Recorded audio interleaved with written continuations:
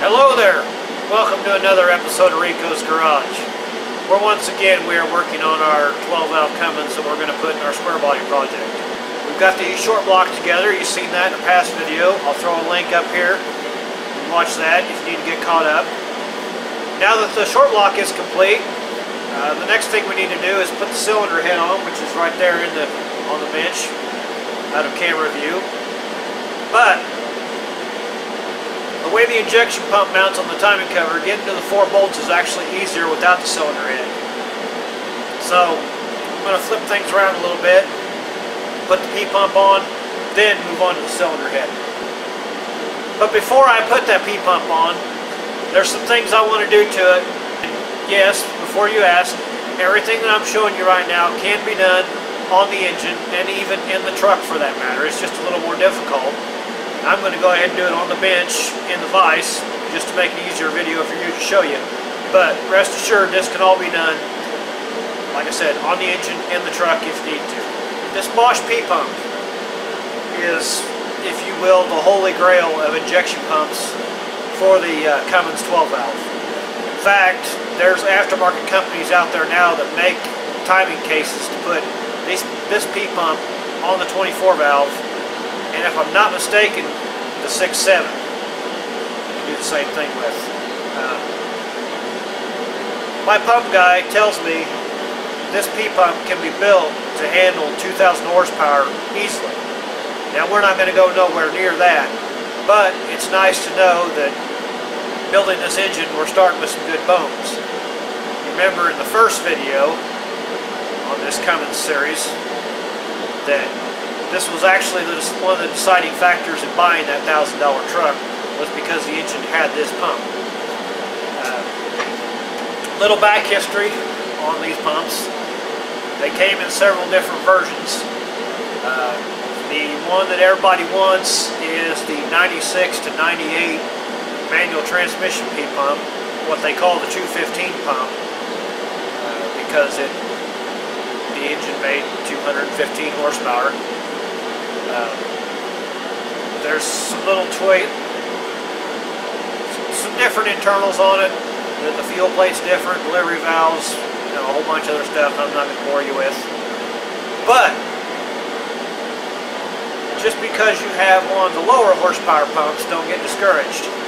This is off of our 95, the automatic transmission, which that engine made a pathetic 160 horsepower because it was in front of the automatic transmission, which was not desirable.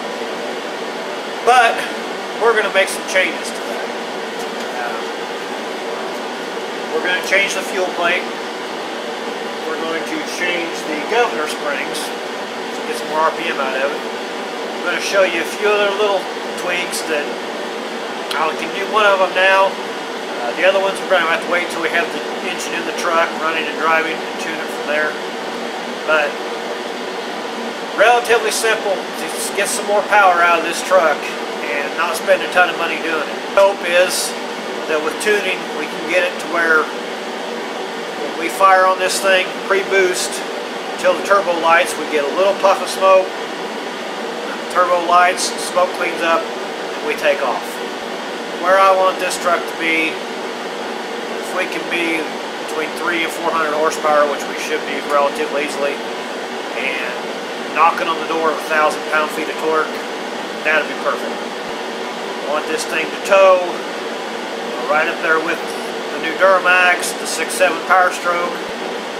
I know the 550 service truck that I use for my job. Uh, I believe it's, since it's a cabin chassis model, I think it's around 400 horse and 800 pound-feet of torque. They do they detune the cabin chassis models.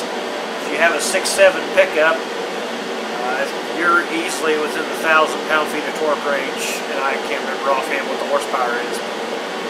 They detune the cabin chassis because they don't want the fleet owners have to worry about their cowboys out there running with that much power, and they want longevity. Horsepower and torque doesn't sell fleet trucks. Longevity and dependability sells fleet trucks, so that's why. But on a pickup truck, they got to have that big thousand foot-pound number that sells trucks. Let's get to work. Got our P-pump, locked up the vise like I said. A few simple tools that we need. 7/8 socket and ratchet. Inch and a quarter socket ratchet. Uh, 8 millimeter on a quarter inch drive handle. A couple flat blade screwdrivers. A uh, dial indicator is about the only thing special that we need. First thing we're going to start with is our governor springs. They come in a kit. I'll show them to you once I get them out of the bag here, but uh, they come in a kit.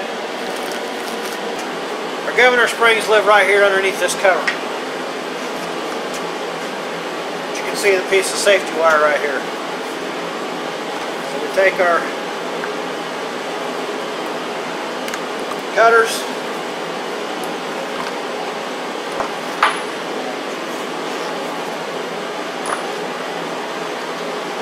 Next thing we're going to want to do, this is our fuel shutoff lever. There's an 8 millimeter bolt right here.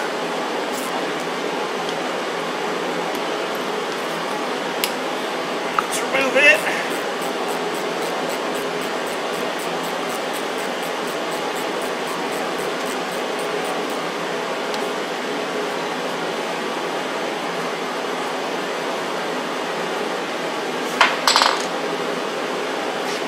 carefully work this off.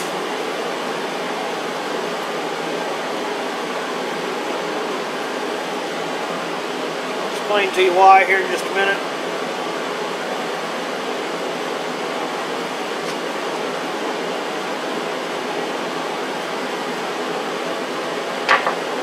There is a small Woodruff key right here. Not want to lose that.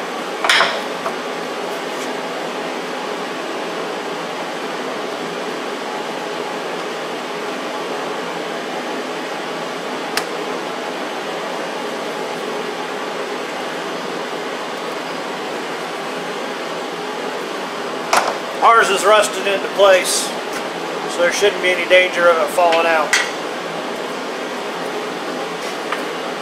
Next, grab our 7 8 socket.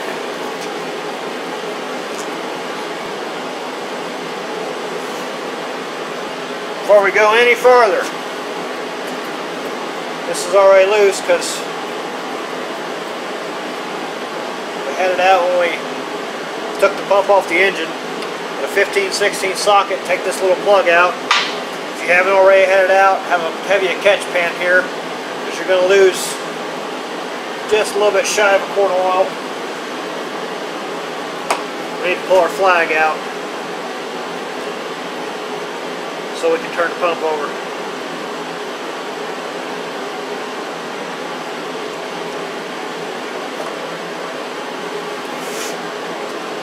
Set that off to the side now we'll put our inch a quarter socket onto our nut on the front of our injection pump. And we'll rotate it over until we can see the governor springs in there. Once again, until you remove that flag, do not turn this over.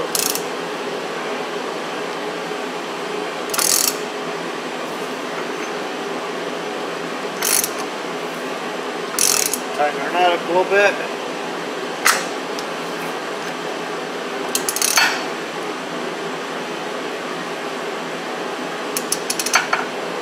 Okay, here's our first pair of governor springs.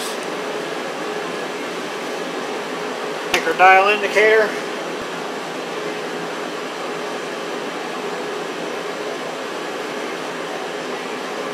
We're going to measure this stem and this groove. Stick that down the groove.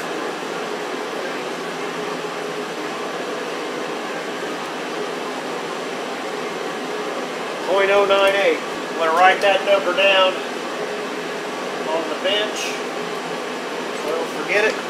0.098.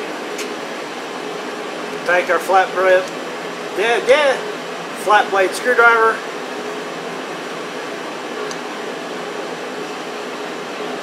turn these off.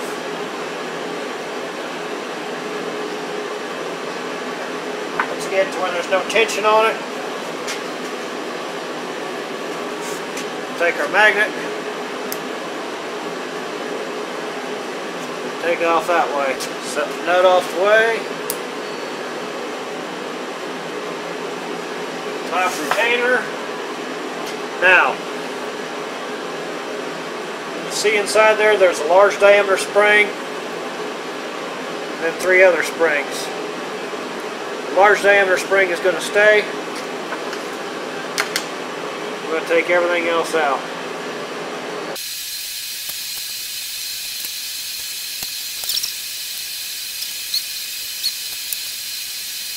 Need to pull out the shims. Arm retainer.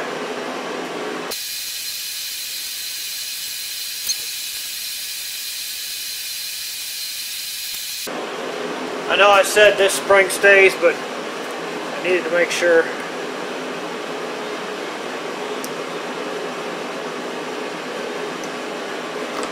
Got everything out of there. So put that back in. Your kit comes with three springs and a bottom retainer. Just take the whole stack, drop it in as one unit. Easiest way to do it. Reuse our top retainer.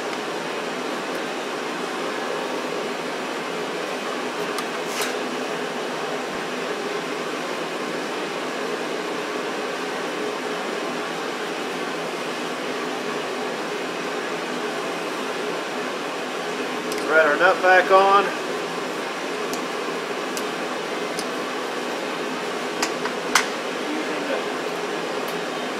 Using a combination of a magnet and a flat blade screwdriver. Tighten it down until it feels some resistance.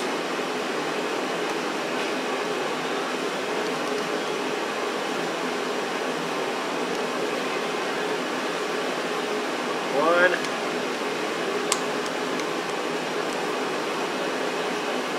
Two.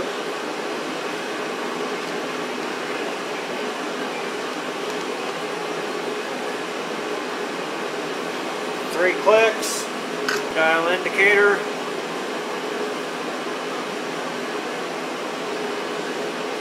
One thirteen. We went too far.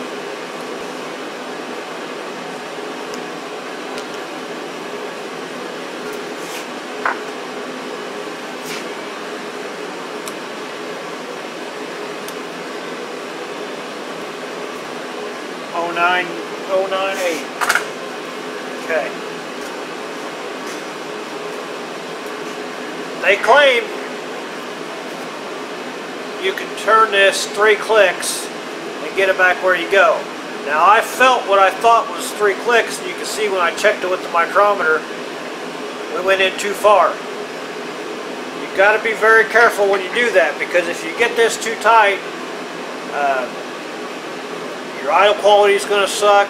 There's even a chance this engine could run away. So while they say you can do it without the dial indicator, I'm going to tell you I don't recommend it. Dial indicators are cheap.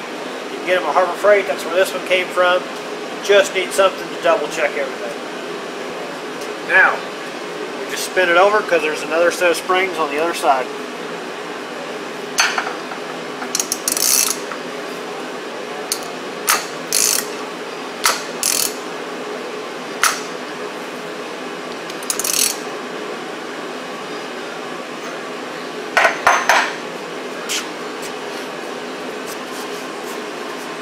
Why don't take a minute and show you what we have here on the bench.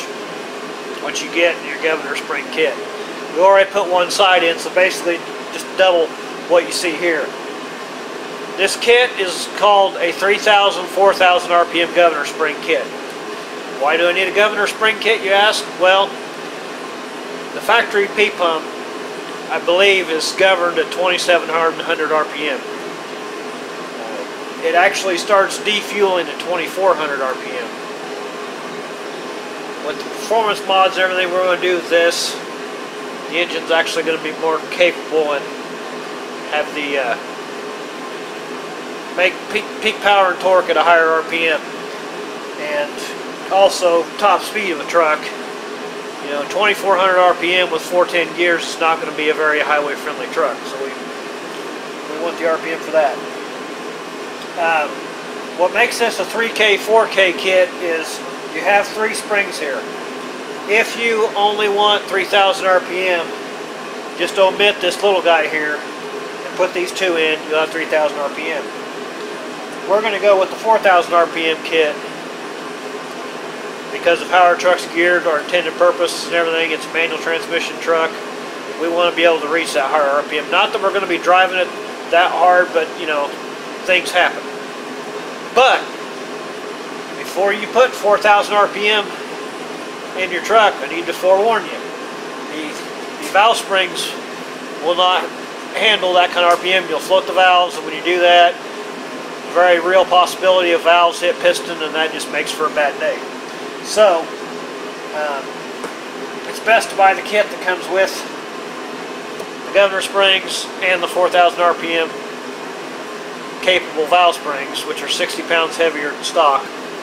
We'll get into that when we do the cylinder head. But I just wanted to show you right here what this comes with, and then we'll, we'll mod the head later. So, essentially you have bottom retainer, outer spring, middle spring, small inner spring. Throw it together, that's your governor springs.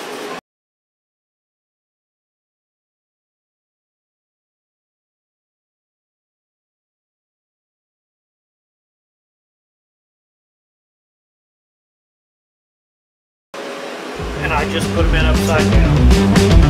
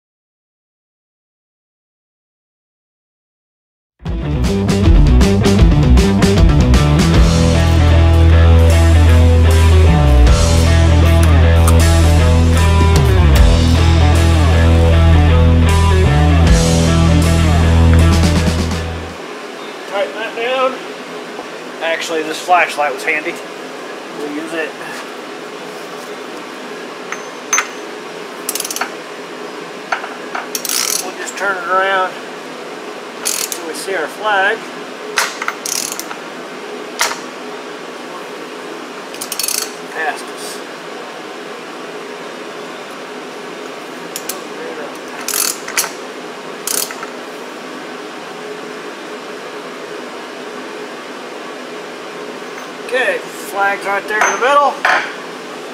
Normal operation. This flag that is behind this 15 16th cap. This side with the brass pin goes in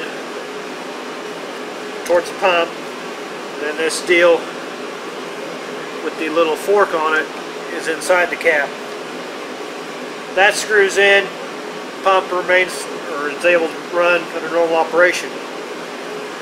Anytime you go to remove this pump and you want it in time, if this were on the uh, engine itself, you would set everything at top dead center, see this little flag sticking out inside here, which I can't get the camera in there to show you or I would. And then this flag goes in, locks on that, and then you just snug this cap on.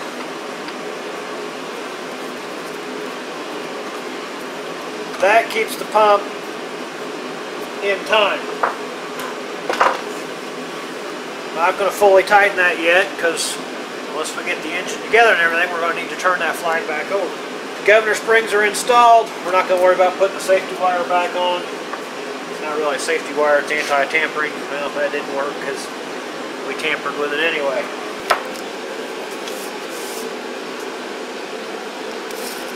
The next mod that we're going to be doing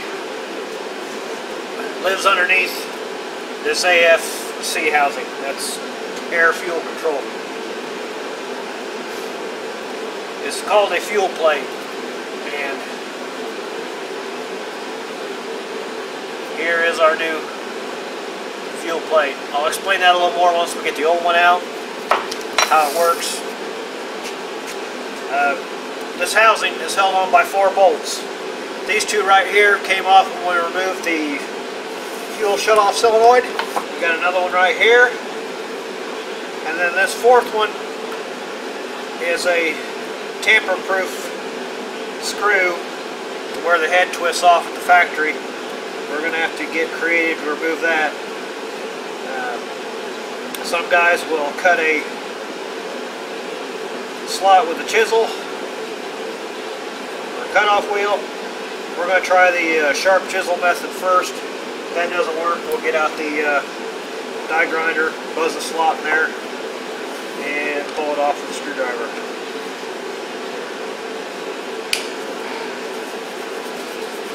Take that one out. Get a hammer and a chisel. Every chisel I own is junk. I have an uncle. That's a damn good blacksmith. And he's been on me about coming into his shop to learn the trade.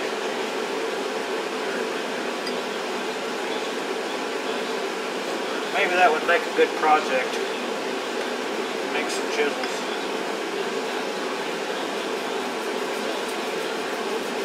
Chisel method for the win.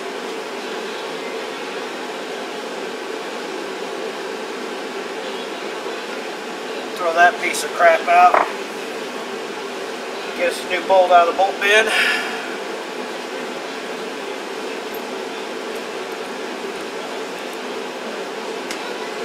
Set that out of the way.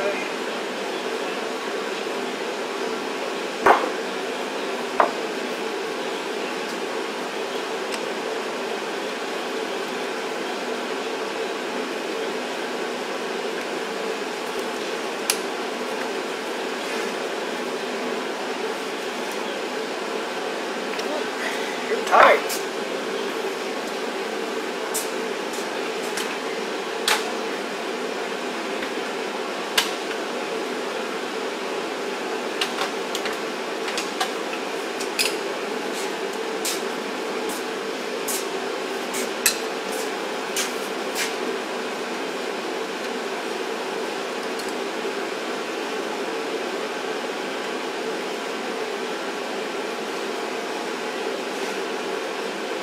Oh, come on.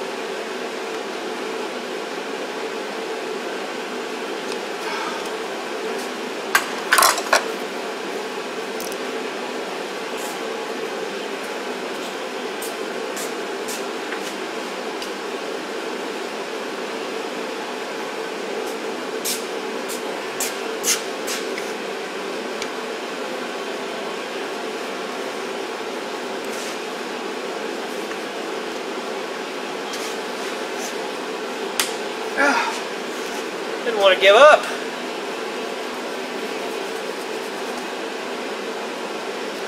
Okay, after we fight the screws out,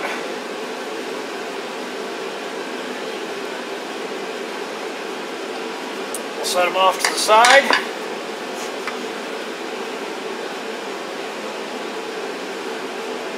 We'll remove our fuel plate. Okay, we got our factory fuel plate out.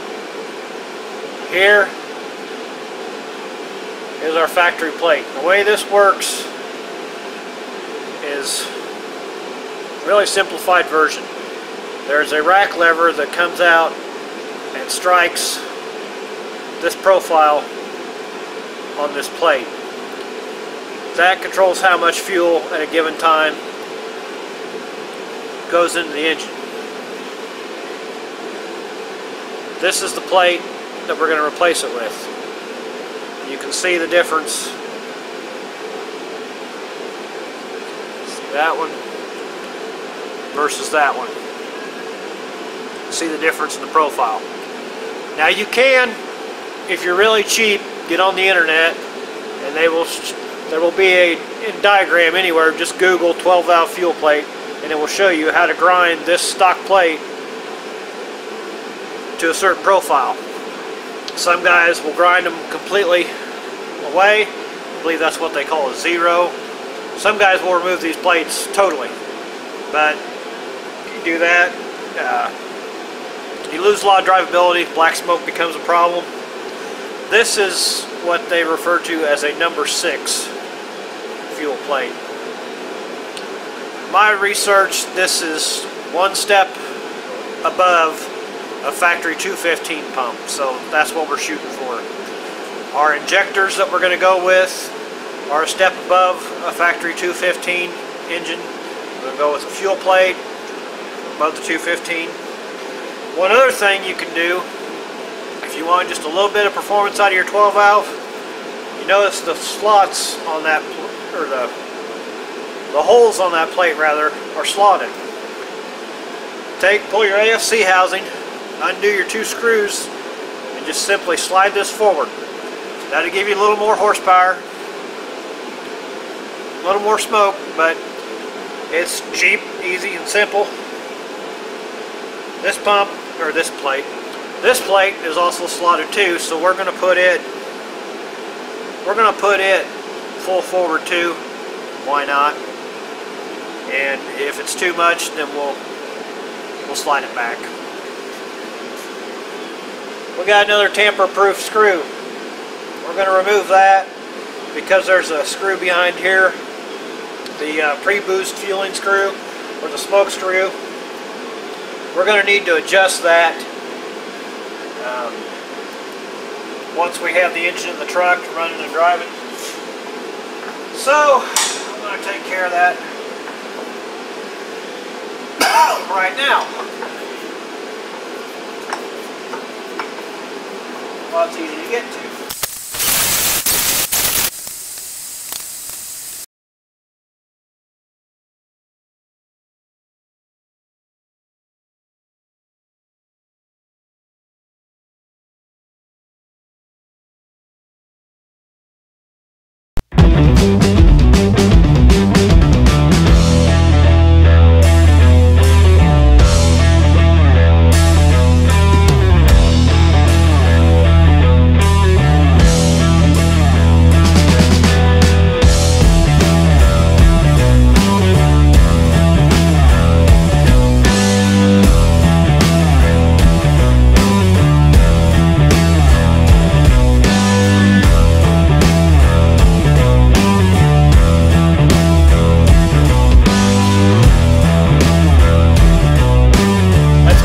It.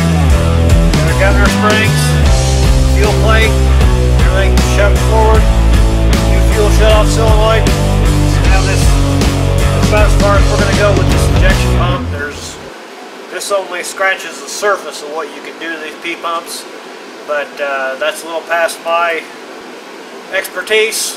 Uh, if we're going to do any more than that, we'll just hand it over to our pump guy. But for now, that's what we're going to do. Uh, next thing we're going to do this is slap a coat of paint on it and install it on that short block over there. But that's another video for another day. I hope you enjoyed this. Hope you learned a thing or two.